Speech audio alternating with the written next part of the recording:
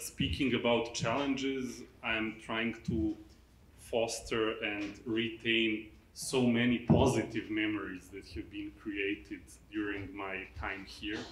Uh, and there are many, many of those. Of course, when we started our work here, I will be quite frank, uh, our diplomatic presence here was still very much recovering from everything that happened after the breakup of former Yugoslavia, including even the fact that the mere physical presence in the sense of buildings and basic the basic toolkit for diplomatic activity was absent. But I was fortunate enough to have strong governmental backing, strong backing by the president of Serbia, and also to have a wonderful team.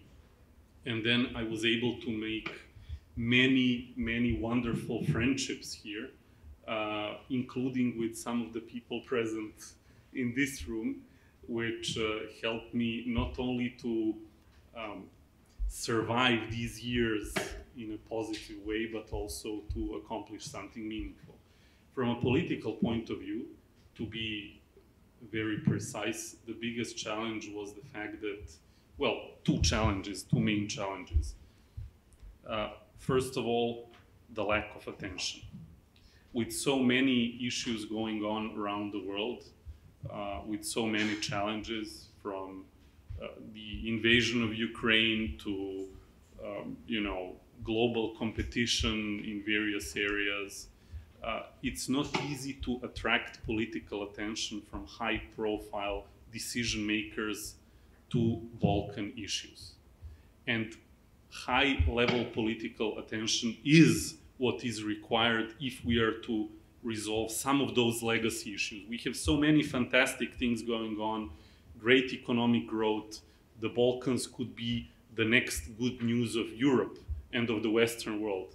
But in order for us to accomplish this, we need political attention. And the challenge was how to persuade key stakeholders to engage more actively on this. And the second underlying issue, which is still present to, to a degree, is how to get people to take a fresh look at Serbia and the region. Because most of the people outside of the narrow circle of experts, and I want to commend some of them who are present here, uh, and to wish them success in their work. But apart from a narrow circle of experts, the broader political class has last heard about us during the 1990s. And not in a particularly favorable light. So when I inform people here that Serbia is now a country that is at the forefront of uh, development of e-government, say, in our region, or it, that it has been the first country in our part of the world to introduce computer coding to elementary schools and um, things like that. This is not the type of information people expect.